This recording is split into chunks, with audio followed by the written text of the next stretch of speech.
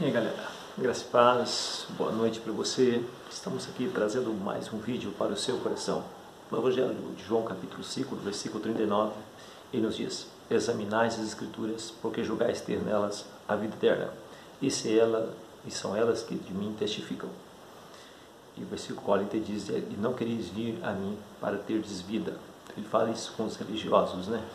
Mas ele pede aqui que você examine as Escrituras. Você precisa conhecer as Escrituras. Você precisa apropriar das Escrituras, porque as Escrituras é a boca de Deus falando ao seu coração. Então você precisa ter um discernimento espiritual. E por incrível que pareça, a Bíblia, ela própria dá resposta para ela. Ela mesmo responde. Se você buscar resposta fora, você está errado. Bíblia responde Bíblia. Portanto, aconteceu no Antigo Testamento, novo, muitas coisas que teve profecias no Antigo Testamento aconteceram no Antigo Testamento, muitas, como a vinda de Jesus, aconteceram no Novo Testamento. Então, muitas coisas é necessário que você aprenda a contextualizar isso aí. Legal? Vamos pensar bem um pouquinho. Alguém tem uma dúvida colocando para mim sobre a questão, o que é doutrina e como é que é esse negócio, como é que funciona a questão de doutrina. Observe bem, porque doutrina e costumes é algo bem diferente, a gente precisa entender. Doutrina é algo que não muda. Pensa bem, doutrina do inferno, sempre é a doutrina do inferno. Doutrina do céu, sempre será a doutrina do céu. As, doutrinas, as doutrinas de Jesus, ele coloca lá no Sermão do Monte. Tudo ali não muda, que não fica velho. Doutrina da justificação, doutrina da santificação, doutrina da regeneração, doutrina da salvação, da salvação eterna, ou salvação mesmo. Observa a doutrina da justificação. Então nós temos muitas doutrinas, muitos ensinos bíblicos que não ficam velhos, não mudam. Pode passar 100, 200, 300, 400 anos, 500 anos, mil anos.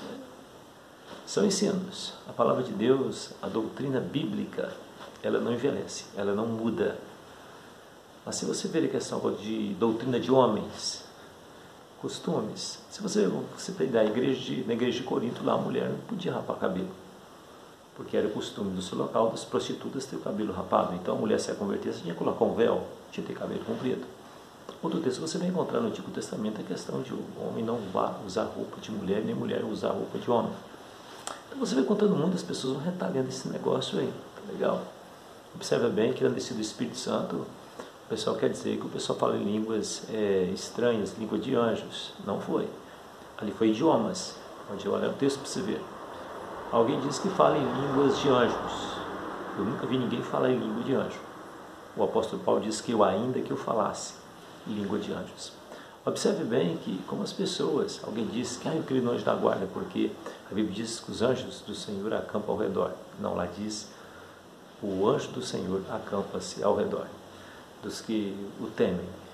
Ok, observe bem que é o anjo, ali é o próprio Elohim, é o próprio Espírito de Deus acampando ao redor da pessoa. Então observa bem que a gente precisa observar que os anjos, eles são ministros de Deus, em prol daqueles que vão herdar a salvação. Você vê que eles atuaram tanto no Antigo Testamento, se você vê eles atuando, quanto no nascimento de Jesus, quando Pedro saiu da cadeia, a igreja estava orando, então você vê eles agindo. Mas isso agora não pode levar você que você precisa de um anjo da guarda, porque o próprio Espírito Santo de Deus é que nos guarda. Salmo 121 mesmo trabalha com esse aqui, nos guarda é o Senhor. A gente precisa de anjo da guarda. Você não vai encontrar basamentos no ensino de Jesus que a gente precisa de anjo da guarda. E diz que enviaria o Espírito Santo, nosso Consolador. Eu creio que o Espírito Santo é o suficiente. Ok, a gente está no, no tempo dele, da atuação dele na vida do homem, do ímpio, ele convence do pecado, da justiça e do juízo, a nós ele nos consola, nos guia, nos conduz, nos dá dons e assim por diante. A gente não pode querer misturar os costumes e doutrina de homens, como a mulher ser proibida de andar de bicicleta. Um tempo atrás era proibido, hoje várias pessoas, pessoas já pode andar de bicicleta agora. Mulher não podia usar saia, usar calça comprida, né? Tem mulher que até na igreja usa saia, na rua sai de calça comprida hoje. O negócio de ser liberado, o pessoal já não está ligando mais para isso. Observe como é a doutrina de homens, como o tempo, a cultura vão passando. Só para você ter ideia, é, teve um exemplo que posso colocar aqui sobre a questão que a gente fala, mulher cortar cabelo. Cara, agora está liberado para cortar cabelo. Não pode cortar tudo, mas pode cortar, ok? É, é, você vai pensando bem, você vê no Antigo Testamento lá também as pessoas que não podiam cortar o nazirão, não podia cortar nenhuma parte do cu, podia cortar a barba, aquele negócio todo, cortar cabelo.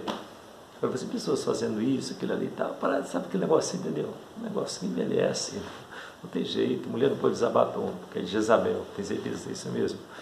Imagina uma mulher bem, bem organizada, passando um batom bonitinho, bem chique, organizando, não fica lindo, não é bom ver a sua esposa desse jeito, sua namorada. Então observa bem, então as pessoas pegam condenar, eles aplicam aquilo ali, tá entendendo? Isso são doutrina de homens, isso vem envelhecendo com o tempo, vai mudando, não tem jeito. Imagina, chegou a época, década de 60, me parece, 50, 60, que era, as pessoas não podiam usar é, tênis, a gente só podia usar sapato, principalmente o pregador, tá entendendo? Era coisa do mundo. É, questão de piano também, questão de boate. Sabe que isso tudo vai mudando, o tempo mudando. A gente precisa entender que essas coisas mudam, a gente precisa aprender, tá? Adaptando as mudanças. E muitos grupos evangélicos já mudaram, já abriram mão, porque viu que o pessoal ia tudo embora, porque a mente do povo vai abrindo. Então, essa questão de costumes, a questão, questões culturais, a questões de pessoas que querem ser rigorosas, talvez mesmo impõem, não pode ver televisão. Uma certa vez, perto nossa aqui, uma igreja, saula, um grupo Saula do Rio de Janeiro, para vir aqui, chegou aqui, aqui era proibido ver televisão. E o pastor, que estava lá, o líder, não sei, colocou a televisão em cima, trouxe a televisão e o vídeo em cima, colocou em cima do púlpito. Ainda o pessoal está vendo. O pessoal ficou totalmente escandalizado, porque era proibido, no Rio de Janeiro era liberado.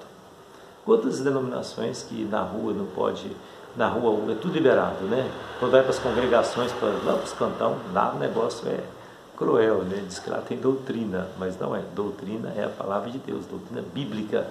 É bem diferente dos costumes e doutrina de homens. E as doutrinas de homens elas vão, elas vão envelhecendo, o pessoal vai enjoando e aquele negócio todo.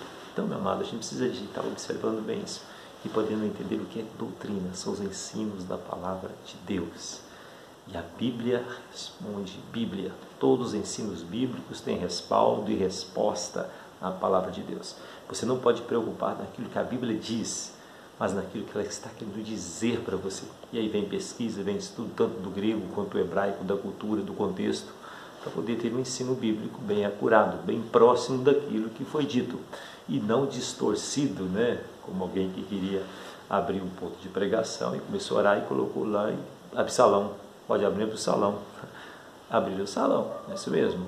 Se for questão de Judas, o cara vai meio depressivo, coloca lá e, e Judas foi e forcou-se, né? Vai e faça o mesmo. Foi em outro lugar lá e vai e faça o mesmo.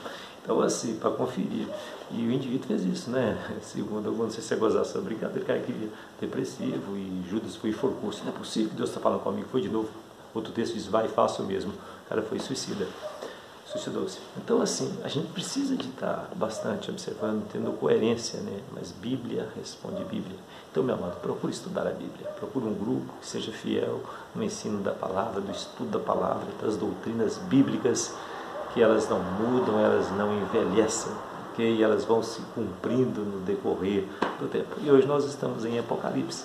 Já estamos chegando nos finais do tempo. Aí tem pessoas que querem que os dias de hoje foi como nos dias de Jesus. Aí você vai encontrar Jesus dizendo: virão dias em que desejarão ver os dias do Filho do Homem e não verão.